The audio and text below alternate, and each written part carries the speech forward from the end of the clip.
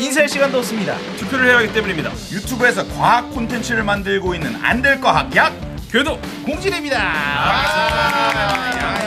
예, 우리가 이렇게 SBS 찍자 챌린지를 또 하게 됐는데요. 네. 이제 선거가 얼마 안 남았어요. 맞아요. 아, 그러네요. 그래서 예. 우리가 이렇게 모여가지고 네. 같이 또 얘기를 나누는 거 아니겠습니까? 그렇습니다. 예. 네. 사회가 변하려면 예. 다들 투표를 해야 하는데 맞아요. 여러분들은 어떤 사회를 바라십니까? 일단 또 뭐 저희가 과학자이기 때문에 네. 개인적으로는 좀 더 과학자가 주목받는 사회 그리고 어. 대학원생들이 좀 더 행복할 수 있는 사회가 예. 됐으면 좋겠습니다. 와, 아, 좋습니다. 아, 좋습니다. 그런 사회 네. 맞아요. 네. 저는 모두가 네. 모든 대중이 과학적 사고로 무장해서 보다 상식적인 사회가 됐으면 좋겠습니다. 아, 예, 기대합니다. 한 말씀 기대됩니다. 올리겠습니다. 아, 좋습니다. 예. 네.